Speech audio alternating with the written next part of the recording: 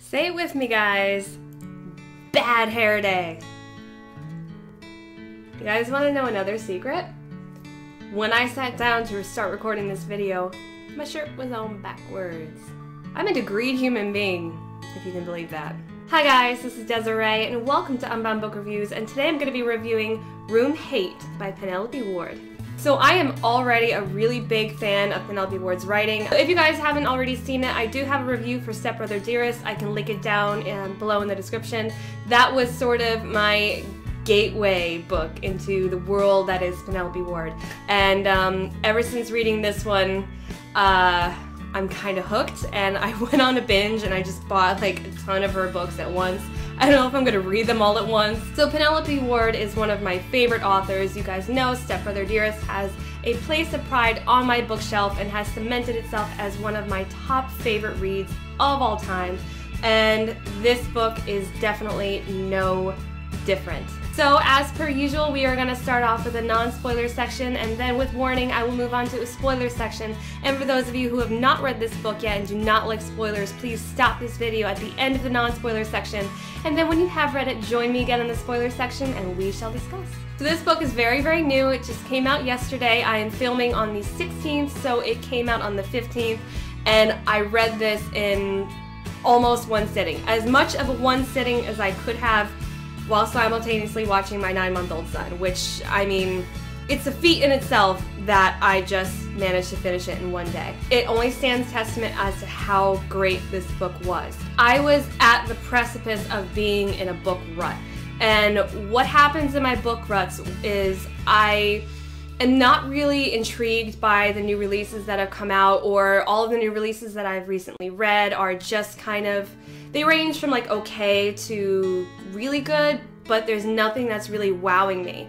And I kind of start to get into a funk and I notice that the books are kind of bleeding into one another and I'm sort of going into a new novel thinking, oh, it's just kind of going to be okay, it's kind of going to be good, based off of my reactions and my opinions on other books. So they kind of start to bleed together, and that's definitely not what you want. So when I get into one of my book ruts, that's usually how it starts, and I usually stop reading new releases altogether. I still purchase them, but they'll just sit on my Kindle for a few weeks until I kind of get the urge back to start going in and rereading them. So I go back to all of my favorites. So I'll start reading The Hookup. Um, Stepbrother Dearest was one of those novels for me that I just went back to and read when I was um, on one of my little book ruts. And it sort of helps me clear my head. It's like a cleansing almost. And then when I jump back into new releases, I can be really excited about them again and um, not kind of go into them with a sort of blase um, attitude. So I don't know if that made any sense, but all of that babbling was just to point out that this book brought me out of a potential book rut. I was like right on the cusp of just falling and going, fuck it, I'm just gonna read all of my favorite books. There is nothing right now that's really, really doing it for me. To tell you the truth, a lot of that had to do with my disappointment with Beautiful Burn. But this book brought me back to life.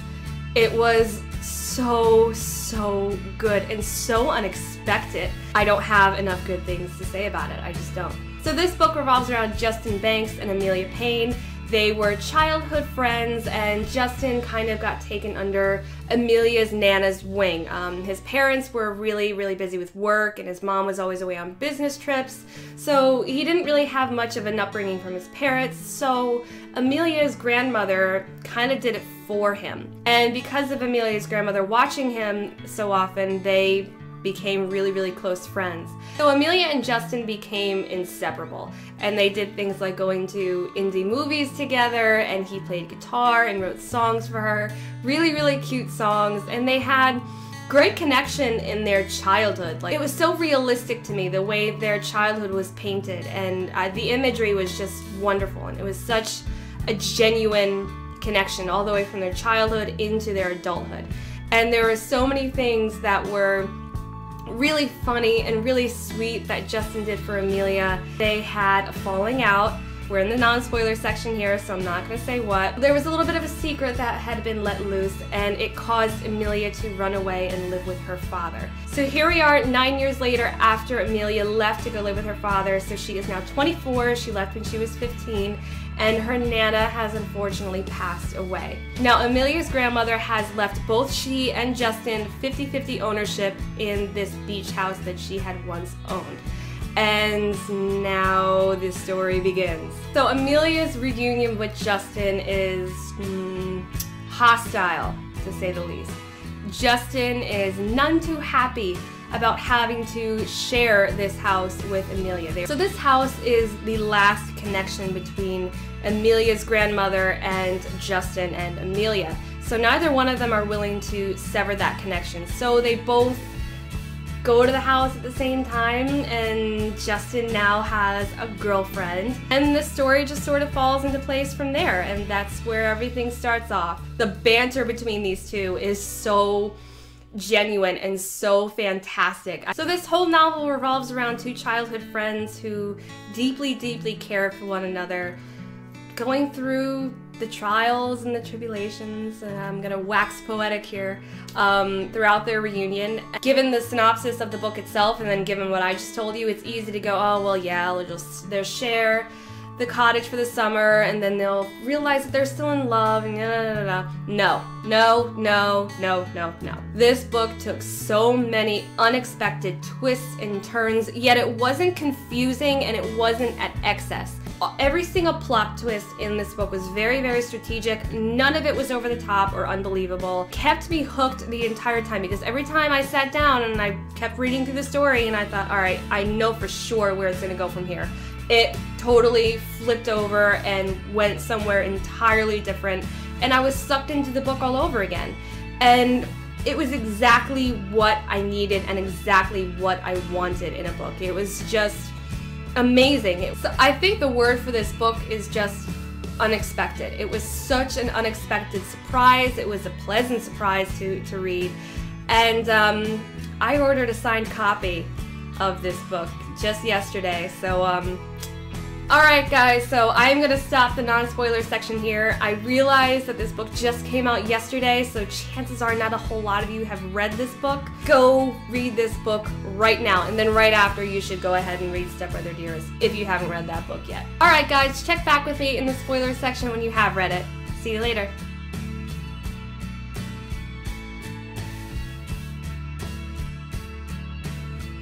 Penelope Ward has a great gift with love-hate relationships. There's something about Penelope Ward's writing, how she develops these characters and how she manages to, de to develop the relationship at the same time and go from total hatred to a genuine connection that you just feel down to your bones.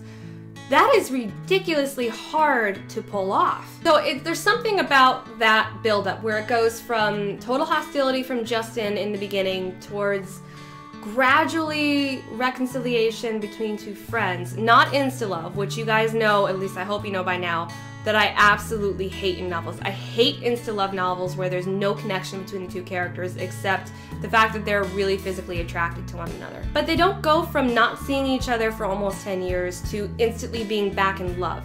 They go from not seeing each other in 10 years and having kind of a lot of strings unattached and there's a lot of broken threads there. And they go into this mending stage where they're learning how to be friends again and they're learning how to talk to each other again. And then it builds up from there.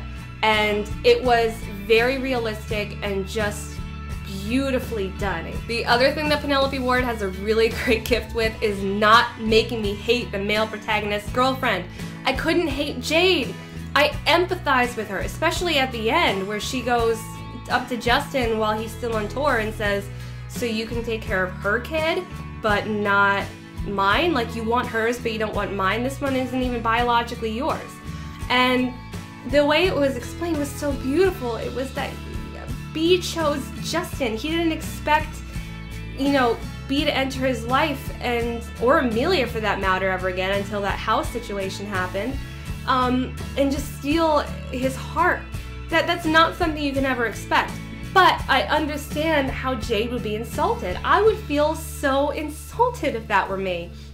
If I put all this time and energy into a relationship, and that was the one thing that was really tearing us apart, was the fact that he didn't want to have kids and I did, that would be a big deal. That would bother me too if I were in Jade's position. So I really empathized with her and I couldn't hate her. I couldn't even hate Olivia and I was really revving to go and like, all right, here's a bitch. I can really hate her.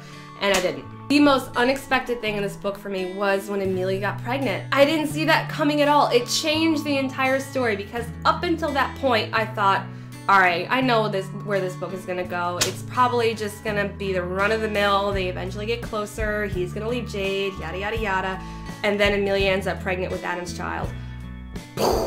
Mind blown. I was like, all right, I am in this story for the long haul. I am gonna finish this story right now. I'm gonna finish it today if it kills me. There are very few novels that I read in which there is a single mother or just parenthood in general. Usually it's an afterthought or you know having a baby is an accident which it was in this case but it's usually not so early on and it's not usually a focal point in a story in this case. It's usually in like an epilogue circumstance where you know it's like the third book of a trilogy the the female protagonist ends up pregnant and it's unexpected and then at the very end it shows this epilogue where either the baby's being born or the baby's like a year or two old. That's how it usually goes. I haven't read about i haven't read a book where and how Justin was with B, I mean, oh my god, can your ovaries explode anymore as a female? No, I don't think they can.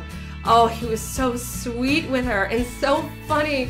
I loved when Amelia finally got dressed up to go out to Sandy's and watch Justin play and the baby was crying and everybody was turning around and looking at her and she was so nervous and Justin just took hold of it like that and they were they were so touching and so funny all at the same time and it was such a great way to watch two characters really develop a connection past what they had during childhood. So it shows the immense character growth that they had, a new relationship blossoms out of it. True evolution of a relationship. It, it, just sucked me in. Overall, this book for me was really realistic. I related so much to Amelia, not in the sense that she was a single mother, but as a mother, I feel like there's this sense of camaraderie. I would lean my head on my hand as I was reading these scenes and just go, I feel you, Amelia. I so understand what you're going through right now. I was there just not long in the distant past ago. I understand. There wasn't a whole lot of smut in this novel either. It was very well balanced. It kind of gets a little unrealistic when every other chapter or every other page is just a sex scene. It's like, when can we just get to the connection between these two characters?